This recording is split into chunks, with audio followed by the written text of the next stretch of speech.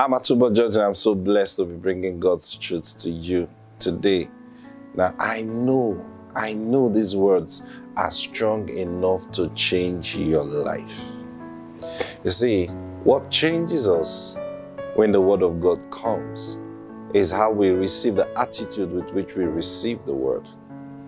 And the, because the Word itself carries the power to transform our minds.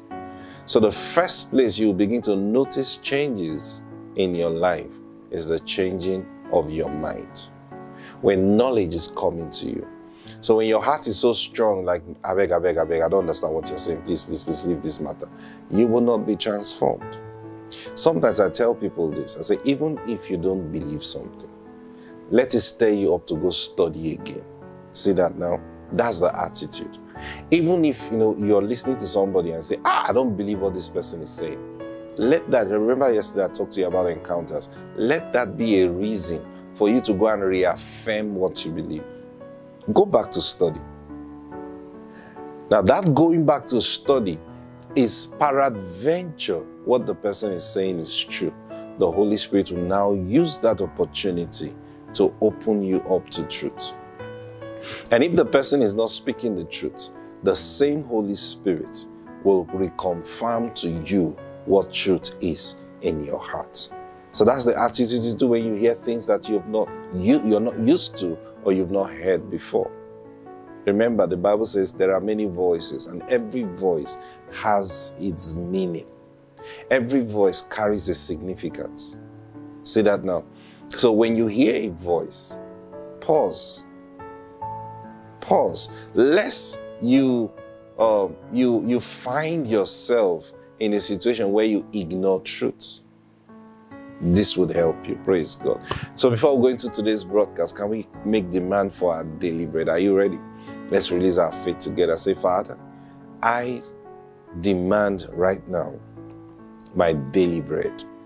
It's coming from you, and I receive it in Jesus' name. Amen. Praise God. Say this with me. My needs are met today. Praise God. And so shall it be. In Jesus' name. All right, now we were looking at John chapter 3 and verse 16 yesterday. Jesus speaking here, and he says, We're talking about eternal life, the very life that God have given to us. Praise God.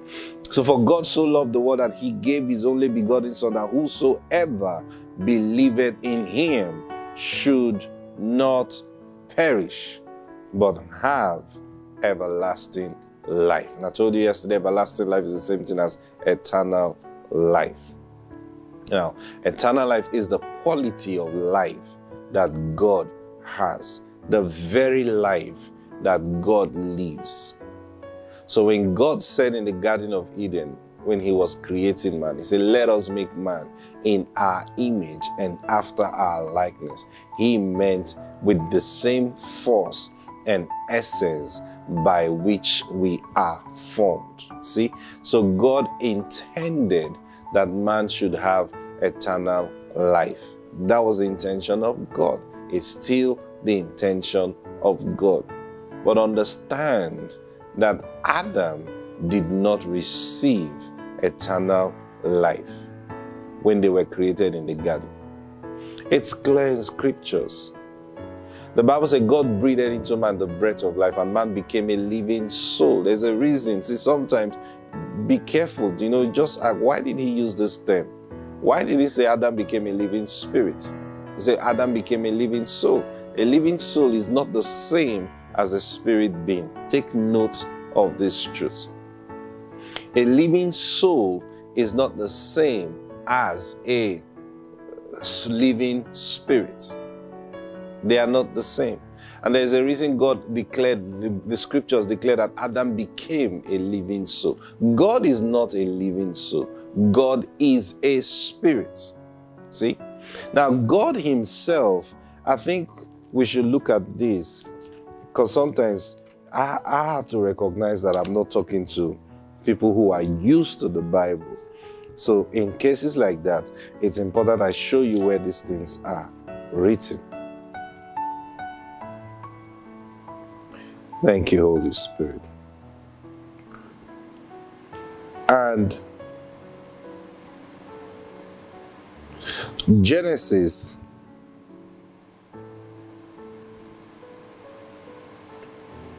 Genesis chapter 6. I want you to look at God's own confession about man here, Genesis chapter 6.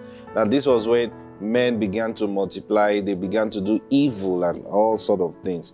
Now, God said, verse 3, Genesis chapter 6 and verse 3, and the Lord said, My spirit, take note of that, my spirit shall not always strive with man, for that he also is flesh.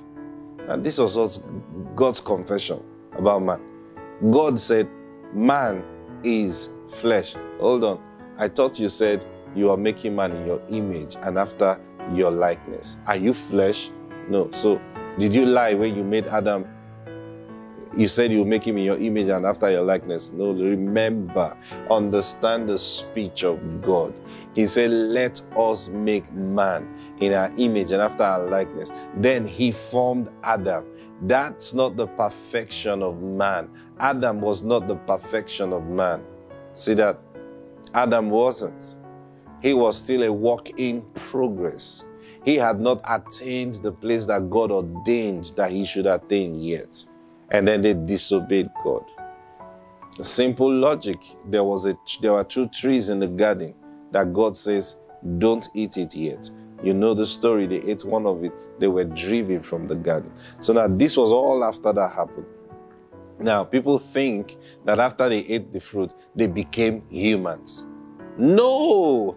they were never eternal. Never. Never. So the tree did not degrade them. Because if you have eternal life, you can never lose it.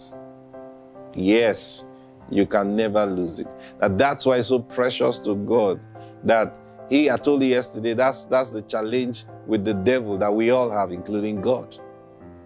Yes, praise God. Thank you, Holy Spirit. So now then, it says, My spirit will not always strive with man, for that he also is flesh. So God declared here that man is flesh. I know you've heard all these teachings. You know, man is a spirit, he has a soul and lives in a body. No, sir. No, that's not true. Man is a living soul. Simple. Man is a living soul cased in a body. That is who man is. What about the spirit? That happened when you got born again. When you got born again was the time man became a spirit. Hmm. All right, follow me. So he says, God so loved the world that he gave his only begotten Son, that whosoever believes in him should not perish, but have. Now, the word, when he says, but have, he is actually saying, but receive eternal life. So, eternal life is received. And listen to me, eternal life is not automatic. You need to understand this. It is not automatic, it is given. Now, I told you that's the ministry of Jesus. Let me show you something in John chapter 5. John chapter 5, verse 21. John chapter 5 and verse 21. Now, this is the confession of Jesus in his teaching. He says, For John chapter 5, verse 21. Say, For as the Father raises raiseth up the dead and quickeneth them, even so the Son quickeneth whom he wills. Whom he wills.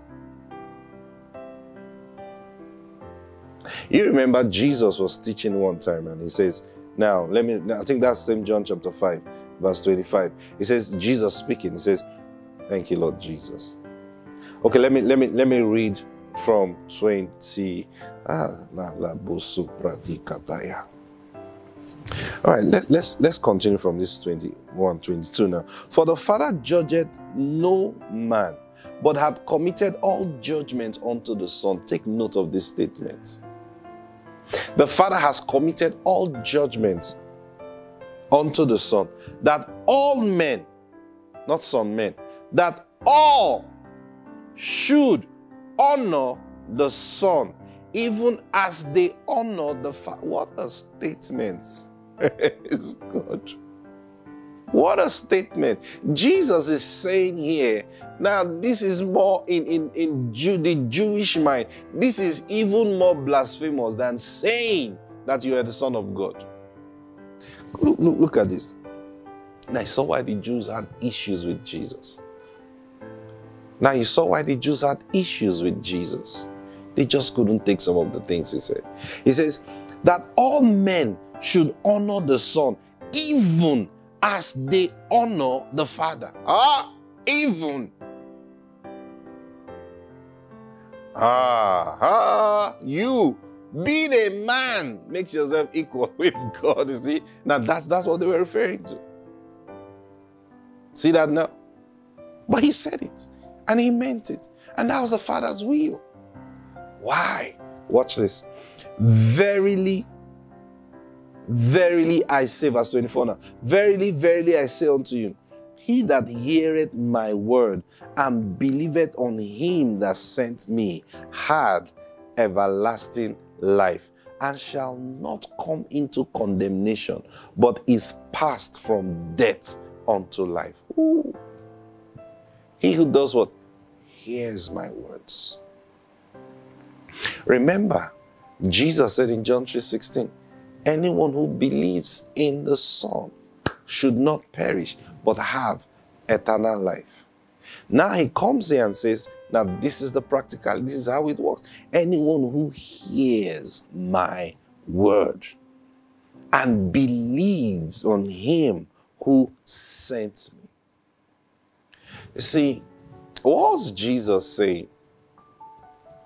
If you hear my word, now listen, listen. Take Jesus out of the equation. I'm sorry to tell you this there is no eternal life. You cannot receive eternal life. No, you cannot receive it. Even God cannot give you eternal life apart from Jesus because He had ordained it. Understand it. He had ordained it so that this one, Jesus, will be the his ministry. That is his ministry. His ministry was not to come and die. The coming to die was an addition so that he would fulfill his ministry. Because he had to die to purchase man back so that he can carry out his ministry of giving them eternal life. That's why, see, when, when, when you understand this, you realize that Jesus have been there. He has been there. John tells us in the beginning was the Word, and the Word was with God, and the Word was God. Praise God. Now, watch this. Let's continue. And I pray the Lord will give you understanding as we go on, because I'm touching on different things. I'm trying to keep a straight line so that we'll take it precept upon precept. Verily I say unto you, the hour Verse 25 Verily, verily, I say unto you, the hour is coming, and now is when the dead shall hear the voice of the Son of God, and they that hear shall live.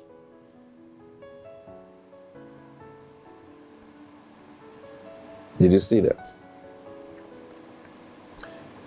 The dead will hear the voice of the Son of God. And the ones who hear I say, not every dead will hear. The ones who hear will live. Why will they live? Take notes. For as the Father had life in himself, so as a giving to the Son to have life in himself. So he is telling us the Son has eternal life, just as the Father has eternal life. Okay? And had given him authority. Take notes and had given him authority to execute judgment also because he is the Son of Man. Marvel not at this, for the hour is coming in the which all that are in the grave shall hear his voice and shall comfort. Mm.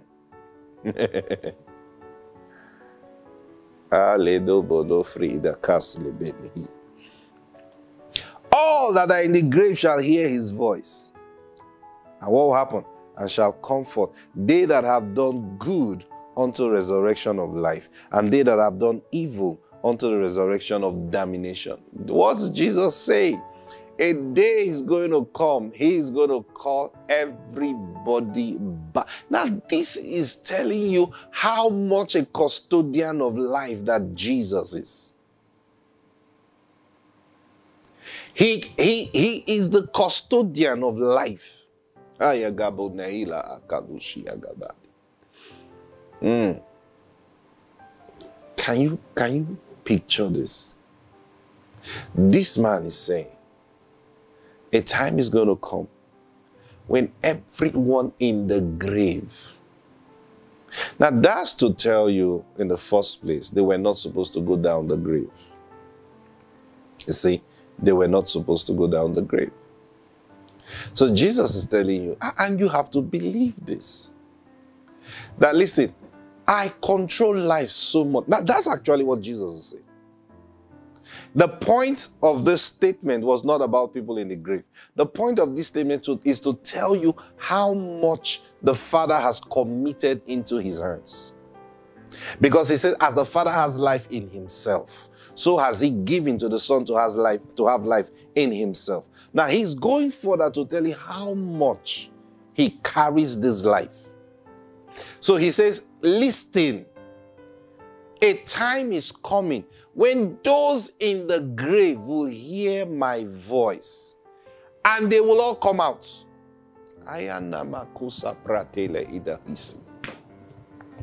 So what raises you know Ah. a lot a lot is going through my mind right now. Ah, what raises men from the dead is not any power like we try to exercise power. It's the voice of Jesus that they hear. And let me tell you this truth. The one is not limited to hearing the voice of Jesus only here on earth. Even those in the grave will hear it. And when they hear, they respond to it. Ah, you know, you look at this and you begin to think we should be raising the dead more than we do. Yes. Yes. It's not a display of power. Number one is we were not created in the first place to die. So anyone that dies is in error. Understand me. I'll repeat that again. We were not created to die. So anyone that dies, dies in error.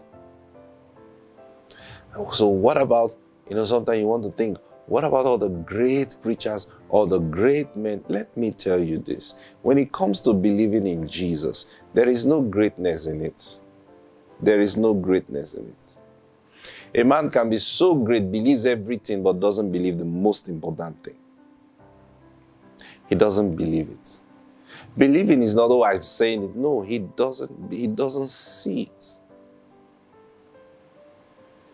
Jesus himself said, except you're converted and be like a little child. So in the things of Jesus, you've got to open your heart freely and, and, and just receive his word. Think about it. People who have been dead for many years. And, and this actually happened in the resurrection of Jesus. I hope you know that the first batch of people rose from the dead when Jesus rose from the dead. What do you think happened then? They heard his sound. But then there is coming again the one that both the good and the bad will hear his voice. And I, I, you know, I can just picture the, the those who believe in him Jesus said it. You know, you remember he was talking to Martha. Ah, oh, there's no time for that because my time is up. I'm going to share that with you tomorrow. Praise God. How Jesus raised Lazarus from the dead. And I'll draw out some things from that experience so you will understand what we're talking about. Thank you, Holy Spirit. Listen, listen. Do you believe in Jesus? There are benefits to believing in Jesus. If you truly believe, it's time to rise up and live like one who believes in Jesus. Not, not one who's beggarly and, and wandering. You know, we, we are soldiers of Jesus. No, come on. Come on. If you believe in Jesus, there are benefits the time is up. Praise God. I pray that your heart is enlarged to receive what God is bringing to you. When the Lord says this is the season for the manifestation of eternal life, believe Him. It will come by words. And I pray your heart is open to receive every word He's given to you. In Jesus' name. Amen. Have a wonderful day today. I'll see you tomorrow. Bye.